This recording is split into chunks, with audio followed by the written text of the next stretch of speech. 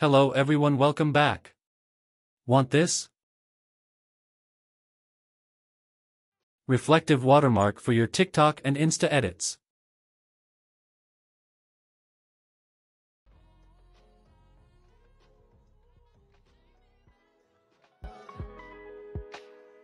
Open your After Effects and import your edited video. Make composition of it and duplicate the video by pressing Ctrl plus D. Now apply flip-flop effect on duplicated layer.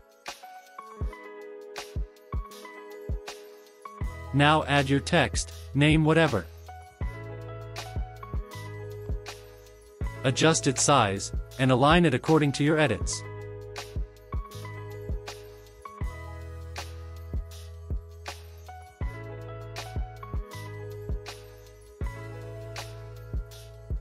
Now change track matte of duplicated layer to text layer.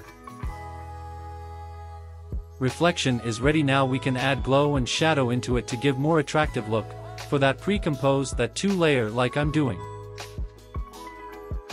Now add glow and shadow effect like me, just copy my settings.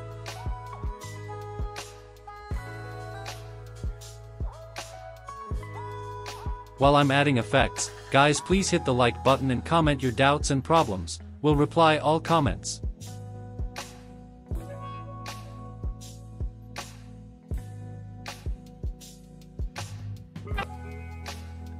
And that's it now you can make easily this watermark for your edits. Hope you guys like the video and try to make this, many of you are new so, don't forget to like and subscribe, it keeps me motivated. See you in next video. Till then bye bye and enjoy your holidays.